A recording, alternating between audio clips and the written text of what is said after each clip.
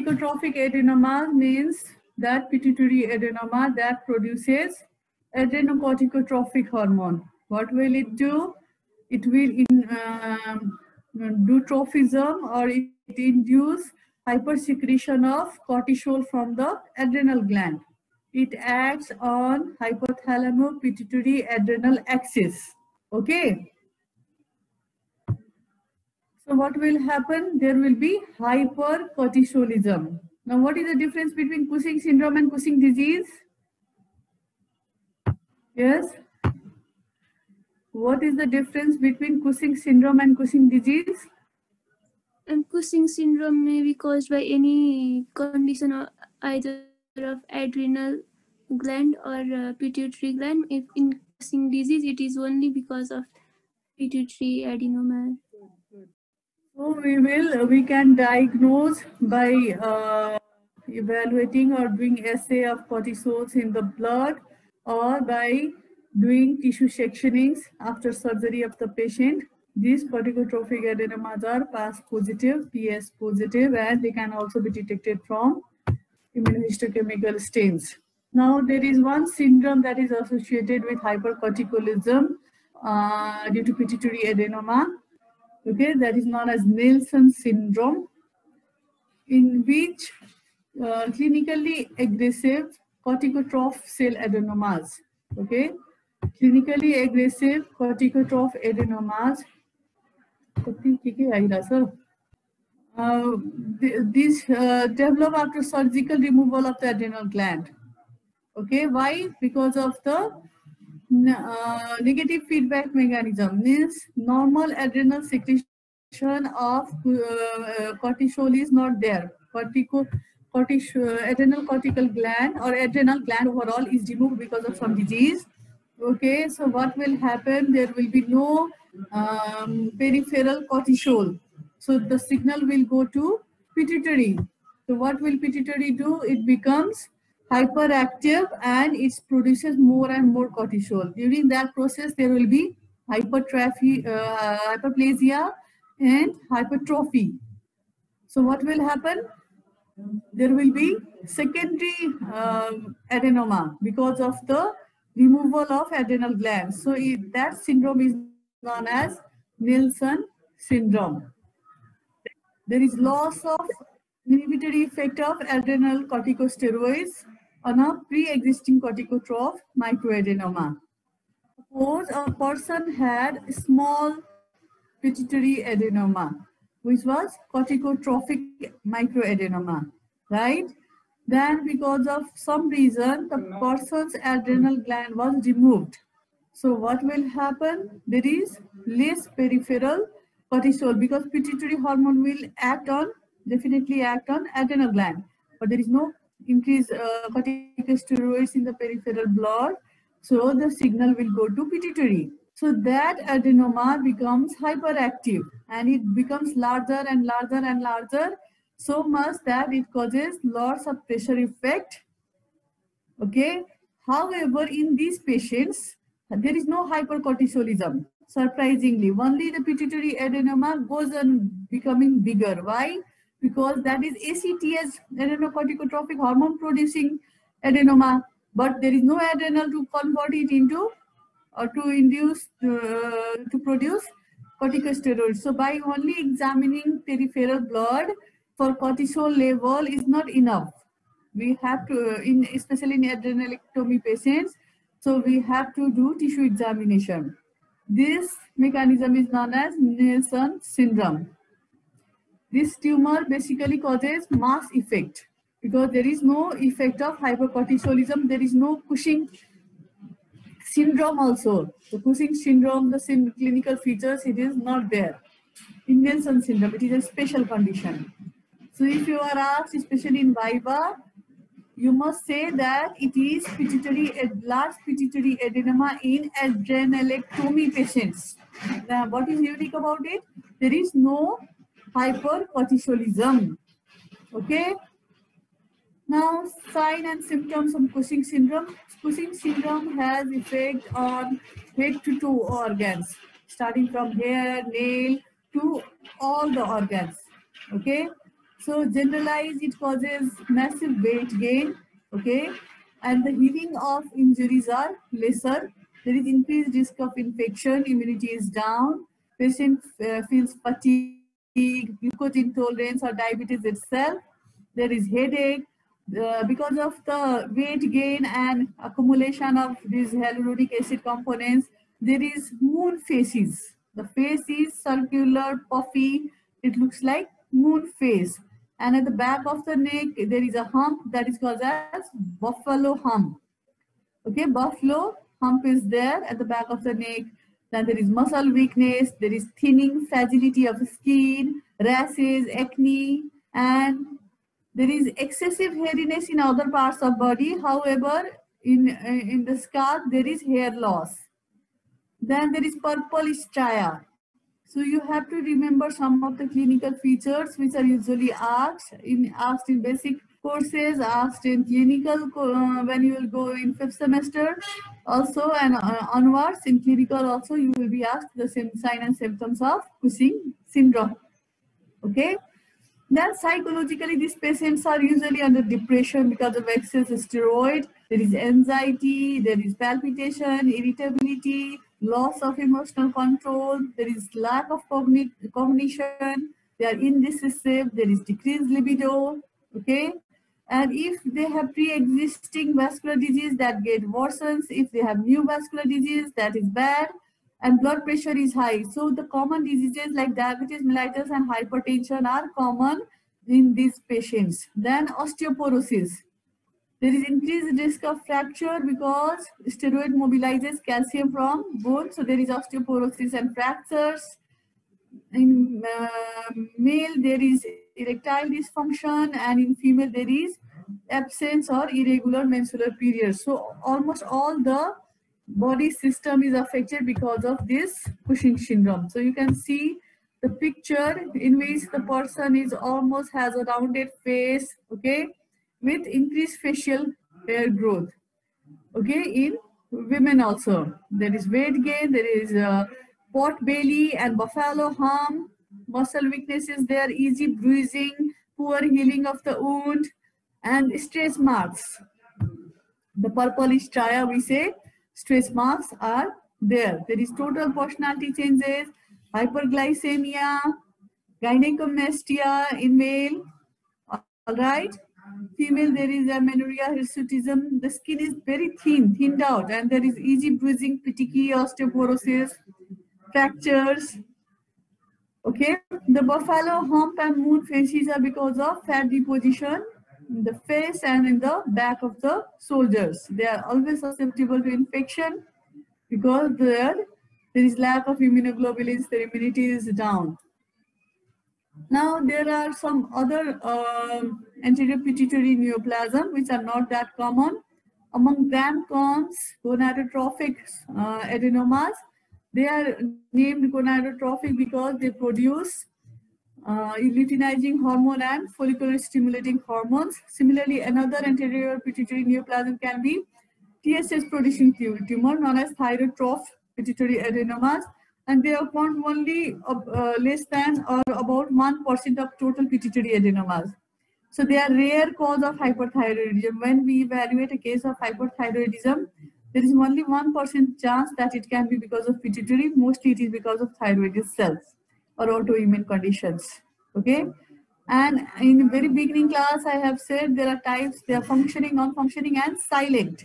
So these silent adenomas, uh, these uh, sorry, non-functioning adenomas, they have only mass effect, they don't elaborate the hormones, they are heterogeneous group, they can be somatotroph, thyrotroph, gonadotroph, corticotroph, anything, okay? And these non-functioning are also quite common. They constitute 25 to 30% of total pituitary tumors. Uh, coming to hypopituitarism, we are done with hyperpituitarism. Again, in later classes as per curriculum, as the curriculum goes on, we'll discuss this Cushing syndrome once again, okay? So this is general introduction. I don't want to go beyond this uh, because other classes will be hampered. So let's start hypopituitarism. Now, what do you understand by hypopituitarism? means hypofunction of the pituitary gland. So we are uh, here not talking about and the anterior pituitary we have already talked. Now we are talking about posterior pituitary dysfunction among hypopituitarism. We started our endocrine with anterior pituitary hypopituitarism, isn't it? now posterior pituitary dysfunction. Among these, uh, there is uh, diabetes insipidus and what are the hormones that are um, secreted by posterior pituitary? ADH and oxytocin. ADH and oxytocin. So what are the diseases that are associated with ADH? If it is deficient, what will happen? If it is increased, what will happen?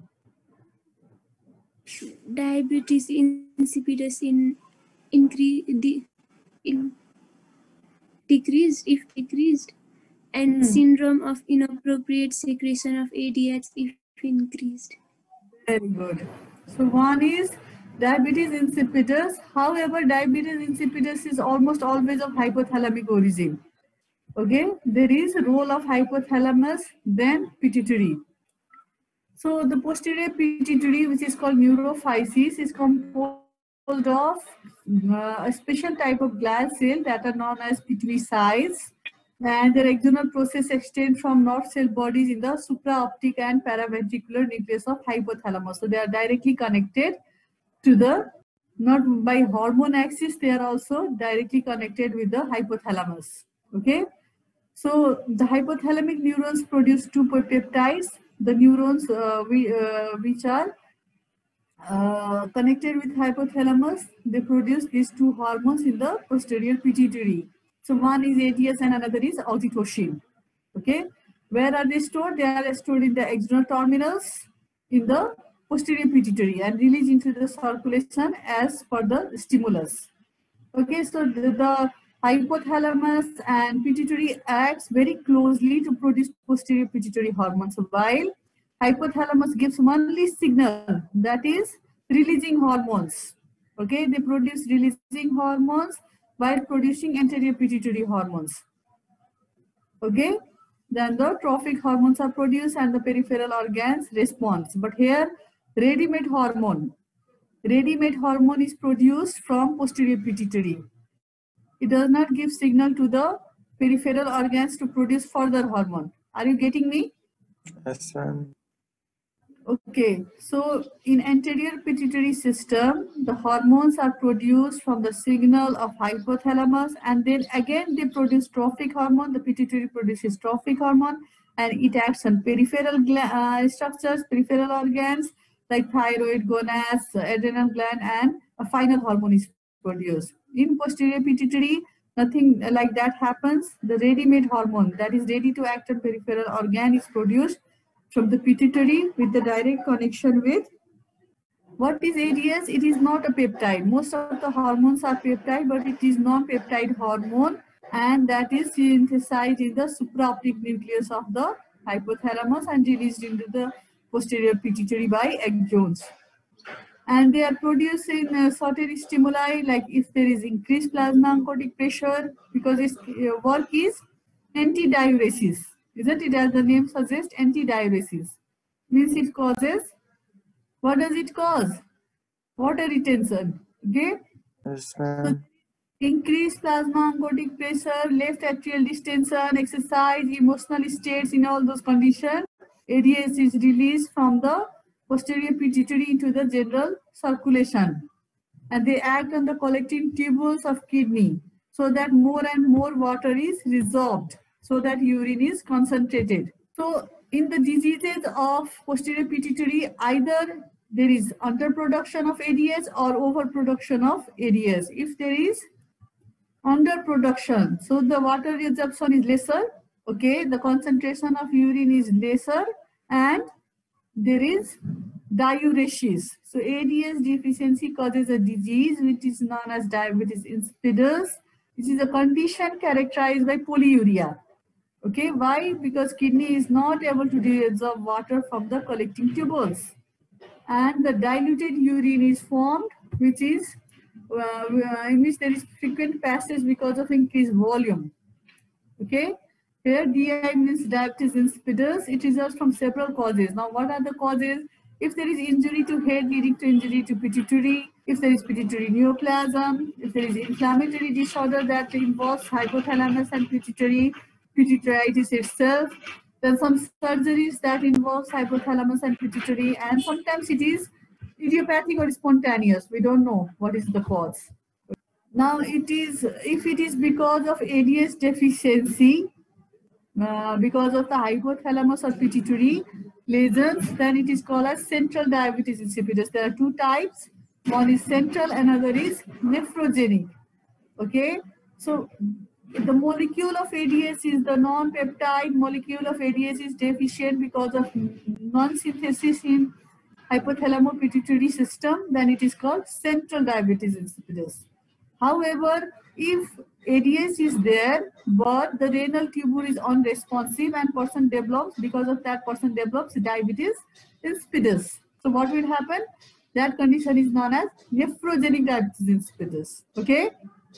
Clinically, the both central or peripheral, that is nephrogenic diabetes insipidus, they present with same clinical feature. There is excretion of large volume of diluted urine.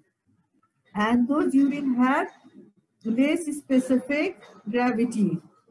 So there is increased uh, sodium osmo and osmolality. Why? Because there is loss of uh, water, so sodium is accumulated and serum sodium is increased.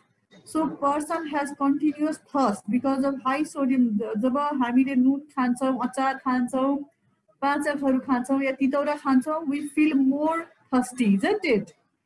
It's in the same way, if there is loss of water, more loss of water, leaving behind loss of sodium, okay, there will be feeling of thirst and polydipsia. So patient can drink water generally eh, to compensate for urinary losses, but patients who are bedridden or, or often dead or not uh, in very well consciousness, so in those patients, there can be life-threatening dehydration because of this diabetes insipidus. Now, that is diabetes insipidus is a disease in which there is ADS underproduction. Now, what will happen if there is ADS excess, overproduction? There will be a syndrome known as syndrome of inappropriate ADS secretion. It is in short known as SIAD, S-I-A-D-S, SIAD, okay? Syndrome of inappropriate ADS secretion. And uh, it causes resorption of excessive amount of water. Just like, uh, just opposite to diabetes insipidus. In diabetes insipidus, there was loss of water, so sodium was accumulated. There was hypernatremia in diabetes insipidus, isn't it?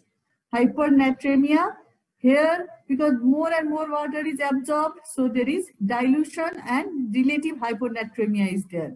It is not that sodium is lost, it is that there is more water that is diluting the level of sodium. So what can be the causes? Usually the ADS are secreted by the tumors. Okay. The tumors can be the tumor of pituitary um, or uh, hypothalamus or peripheral organs. Common are ectopic ADS production by malignant neoplasm like long small cell carcinomas. Okay, some non, uh, non-neoplastic disease of lung can also produce ADS and because of injury, trauma, surgery of hypothalamus or neurophysis also there is some uh, problem that because of which the axis produces increase or inappropriate areas. Okay, clinical feature will be hyponatremia. Hyponatremia, most important danger of hyponatremia is cerebral edema. Okay, and neurological dysfunction. While there is no peripheral edema, surprising in this SIADS syndrome, there is cerebral edema because of hyponatremia. However, total body water is increased because there is retention of water. The ADS is causing retention of water. So blood volume remains normal, but peripheral edema does not develop. So eh, this was about SIAD. Now what will happen if there is uh, problem in oxytocin? Oxytocin under or overproduction. Oxytocin stimulates the contraction of smooth muscle that we know in the pregnant uterus or in the lactiferous ducts of the mammary glands. So if there is impairment in the synthesis, what will happen? What will happen? Decreased contraction. Yeah, the uterus will be uh, atony. Have you heard of atony? Ato- atonic uterus? Have you heard of that? No. It is very, very important cause of postpartum hemorrhage. Have you uh, heard or seen after uterine massage during uh, labor? So, After normal delivery, uh, to there are uh, so many measures by which we can reduce the bleeding. So one of the measure is uterine massage. From above the abdomen, the nurse or the uh, gynecologist or her assistant gynecologist or even the medical officer or interns, they give uterine massage so that there will be release and increased sensitivity to oxytocin and the uterine muscle contracts and there will be less bleeding. What will happen with the muscle contraction? The capillaries and the blood vessels get compressed with the contraction. Okay. So there is less bleeding. When there is lack of oxytocin, the uterus goes atonic. Okay. There is lack of tone in the uterus, they get relaxed and there is more and more bleeding. In such situations, sometimes we have to do CS hysterectomy. Means uh, on the spot we have to do hysterectomy. Okay, so overall, uh, uh, these um, problems are under or overproduction, whatever. Uh, impairment of oxytocin synthesis and release is not associated with clinical abnormalities because it also responds well to the peripheral uh, hormone, uh, additional hormones. Okay, so no more pathologies described. However, um, though it is not mentioned much in the book, but you must know about the atonic uterus. That is one of the important cause of PPH. Okay, postpartum hemorrhage, and because it is totally uh, uh, depending upon the psychological condition also. Say a mother who is wi- willingly feeding her child, she will have more lactation, uh, um, more ejection of milk production. The production को आफ्नो system छ there will be more ejection of milk. But if she is troubled, she is traumatized, she is depressed, or she has some pain, local pain, then her lactation will not improve. So when uh, to a new, when we counsel or care of new mother, we give lots of care, love, affection, so that she can give good care to her newborn. Okay, that that is so much psychologically affected. Okay, if you have anyone, your sisters, your aunts, um, in your family, whoever are uh, having a new child, you should support a lot for smooth recovery and um, uh, lactation, isn't it? More than the usual. Now, there is another tumor known as craniopharyngioma. Craniopharyngioma is also a benign tumor, but it is not a real pituitary tumor. What kind of tumor is it and why we are studying under pituitary tumors? It grows near the sella turcica, okay, near the pituitary gland. It is WHO grade 1 tumor, means it has benign course and it arises in around the sella or in the suprasellar region. Okay, around the sella turcica or in the suprasellar region. And these uh, uh, have some intracellular component also. That's why we are discussing it under pituitary. Okay, they may extend to the intracellular component also, but they are not originally pituitary tumors. They can be solid or they can be cystic. And these constitute almost up to 5% of primary bone tumors and 15% of the pituitary tumors. 5% of total brain tumor and 15% of the pituitary tumors. They can occur anywhere starting from anywhere means in the um, uh, around the pituitary infundibulum from floor of the third ventricular to pituitary gland. They, the, their course of origin is in the infundibulum and they are most commonly found in young people. Okay, they have by uh, modal phase, bimodal age distribution, one uh, from examination point of view as well as it is not that uncommon. It almost constitutes uh, 5% of tumor, though it is a grade 1 WHO tumor, since it has a benign course. But since it is intracranial tumor, it can affect the patient adversely. Okay, it has bimodal age distribution. but more common in children. So from where it gets derived? It derives from, this is one of the very important question. I have just bolded whatever is important. So it is, it is, supposed to be derived from Rathke's cleft or Rathke's pouch. Okay, there is a space in the infundibulum, okay, known as Rathke's cleft. It has two types. One is adamantinomatous, another is papillary. Adamantinoma is a tumor that usually occurs in the, know? Whereas we see adamantinoma, it is a jaw tumor. Okay, we see adamantinoma in the jaw beneath the tooth. Okay, it is a dental tumor and similar morphology is seen in craniopharyngioma. So that will be second common question. Where do you see adamantinoma? And where do you see adamantinomatous histological picture apart from jaw? Okay, so that will be craniopharyngioma.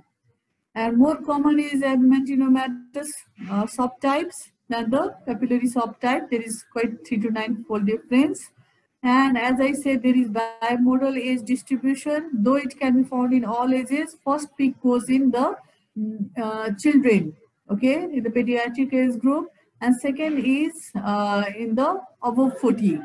The first pediatric type is almost exclusively adamantinomatous, while the second uh, adult type can be both papillary as well as adamantinomatous, okay interesting. Histologically, it is very, very interesting. Okay. Grossly and histologically also. So, uh, adamantinomatous subtypes consist of epithelial cells that have reticular appearance. You must see the picture in the Robbins. Okay. Uh, they have appearance that, uh, that is reminiscent of enamel pulp of developing teeth because Primarily, adamantinoma is a tumor of jaw which has got um, appearance of reminiscent of enamel of developing teeth. Okay. So similar morphology because it mimics the same pattern even in craniopharyngioma the structure has same appearance. And grossly uh, they are single or multiple cysts that are filled with oily fluid. So this can be another interesting question in cyst cavity, what do you see? You see petrol, you see kerosene, you see oily fluid, you see motor fluid like that. They ask this sort of question also. So these cysts are, if it is solid, then there is nothing. If it is cystic, then it is uh, filled with motor oil like appearance. The fluid has a motor oil appearance. Okay. Sometimes there can be blood products or cholesterol also, but Usually the fluid that is there in the cyst of craniopharyngioma has a motor oil appearance. Apart from that, in histology, there is wet keratin nodule. So just go on with the bold letters. It can be solid or cystic. Grossly, if there is cyst, there is motor fluid appearance fluid. Okay, and histologically, there is, what do you understand by wet keratin? Keratin is superficial cells of stratified squamous epithelium. And because it is cystic, it has appearance of wet keratin nodule. Okay? Getting me? Yes, ma'am. Yes, these uh, enamel pulp-like cells have also squamoid appearance, reticulated appearance. Now this papillary um, subtype, it is different. It almost exclusively occurs in adults and forms mass of metaplastic squamous cell the wet keratin of uh, this adamantinomatous type is not there. There is no prominences. It is usually solid and there is no calcification as seen in adamantinomatous subtypes. So it is made up of metaplastic squamous cells and lacks almost all features of adamantinomatous pattern. Okay. So craniopharyngioma, because it is around the pituitary, it compresses the structure around and the symptoms include basically the symptom of increased intracranial pressure, like headache, visual symptoms, balance problems, and all. And there are some behavioral changes because there can be some extension to frontal or temporal lobe. Diagnosis is made by assessment of the hormones, okay, basically by the MR, uh, the radiological examination. MRI, the area of the pituitary gland. So this gives better picture along with CT scan gives detailed im- image of the brain and pituitary. So here you are seeing a MRI scan of a patient who has got pituitary macroadenoma. Okay, and this has actually extended around the optic chiasm. Okay. Now we are talking about overall uh, management of pituitary adenoma. Though it is not in the curriculum, I would like to describe briefly how these cases are managed. Okay, so they are managed by surgery. There are two approaches. One approach is known as endoscopic transsphenoidal surgery, in which we go through sphenoidal sinus through nose. Okay, have you heard of sphenoid sinus? Hmm. Yes, ma'am. This tumor are removed from by making an opening in the sella. The tumor is removed. It is a kind of conservative surgery done under GA. Another is extensive. You have to do craniotomy, open the bone flap, reach the pituitary, okay, and remove the tumor. That is supraorbital approach. Just above the eyebrow, you have to do craniotomy and expose the brain. And radiological treatment is known as gamma rays therapy, in which targeted therapy is done just at the tumor, not affecting the other parts of the healthy brain. Okay, so many modalities have come. So that is all about pituitary tumors. Is there any question? In next class, we will start thyroid. Is there anything you can ask? What is the uh, yeah, yeah, yeah. Ma'am then Nelson syndrome जुन छ नि pre existing micro adenoma भयो भने मात्रै अ, देखिने हो कि यतिकै adrenal gland remove गरेपछि देखिने Uh, see, uh, by removal of adrenal gland, there should not be adenoma ideally. Adenoma has their own synthesis, isn't it? I know. Uh, there, there should, there, it is a mass, it is a tumor, so that mass should be uh, uh, produced by different mechanism like genetic or some molecular um, derangements and like that. So uh, it should be because there is there was microadenoma pre-existingly which goes on very large though many many uh, clinician blame or claim that even after adrenal, adrenalectomy there can be chance of pituitary adenoma. But i guess that it is underdiagnosed because it was microadenoma not uh, much functioning isn't it? We have functioning and non-functioning types isn't it? So that was non-functioning that was not cause, uh, causing a clinical feature. After adrenalectomy what happened? There was negative uh, feedback mechanism and just went uh, on to grow. So it becomes so much large that it causes Nelson syndrome. But clearly it is not mentioned in the literature, uh, but in Robbins it said the pre-existing tumor grows.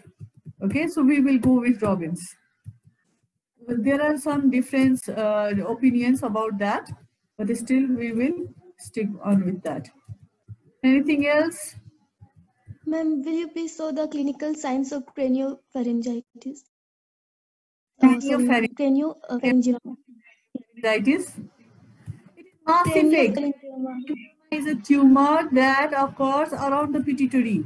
So everything is depending upon the compression of the surrounding structure. All right. Yes, ma'am. Like most common uh, clinical feature is of increased intracranial pressure. Now you have to remember the clinical, whether it is in meningitis or in brain tumor or in other brain tumor or in pituitary tumor, you must know the features of increased intracranial pressure. Number one is headache. Number two is blurring of vision. You also see papilloedema in some of the patients by ophthalmoscopy, if you have ever seen. Okay. Basically because there, there is direct relation with optic chiasm. There is chances of extension to optic chiasma. So what will happen? What will happen? There will be uh, vision mostly. Okay, then hormonal imbalance is there. Suppose pituitary is compressed, the hormones are not released. The gonadotroph, somatotroph. So there is uh, delayed in the growth, delayed in the, um, uh, there is short stature and there is uh, delay in the puberty and all, amenorrhea, weight change, like that. Similarly, if posterior pituitary will be affected, what will be what will happen? There will be diabetes insipidus, isn't it? Yes, there are cortisol is increased. There is behavioral problem, mood swings.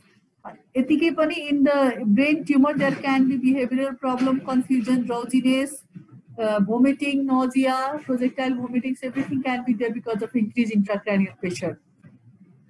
All right.